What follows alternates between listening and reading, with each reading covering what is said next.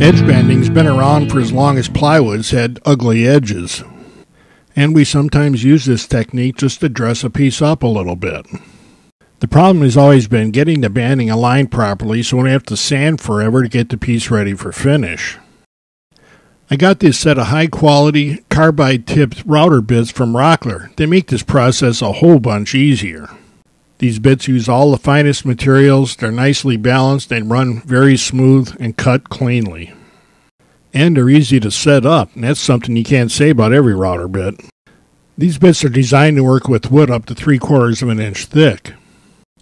When you have the concave bit shown here set at the right height, the upper and lower cutting edges contact the wood at the same time. That makes setting this up very easy.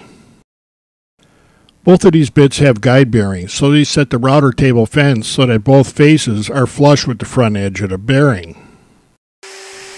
Then I run all of the banding pieces across this bit, and notice that I'm using push blocks so I can keep my fingers away from this bit. And here you can see how clean these Rockler bits cut. This consistency makes it a lot easier to glue these pieces in place later. For setting up a pointed convex bit, I found it easier to draw bracket lines like this rather than trying to hit a center line exactly.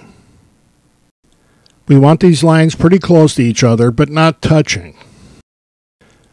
Then all we have to do is adjust the bit height so the point is right in between those two lines. You'd be surprised at how perfect you can get this setting using this technique.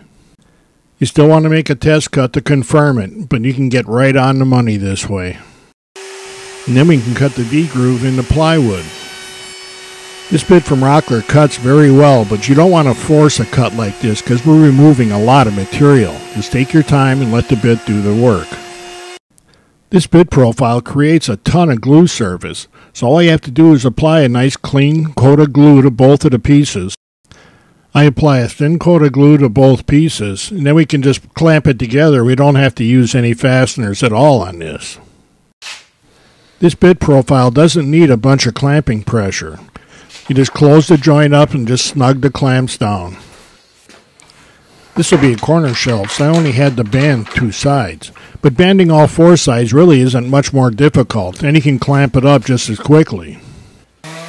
And after the glue sets, you can go ahead and sand everything flush. If you took your time with setup and used the same thickness as the wood, there'd be very little sanding to do to get it ready for finish. This assembly is made out of absolutely junk wood, but with a little paint or finish, this is going to look just fine. So if you want to do edge banding, and just about all of us will, you need to check out these bits from Rockler. They do a very good job, they're very well made, and they're going to last a long time.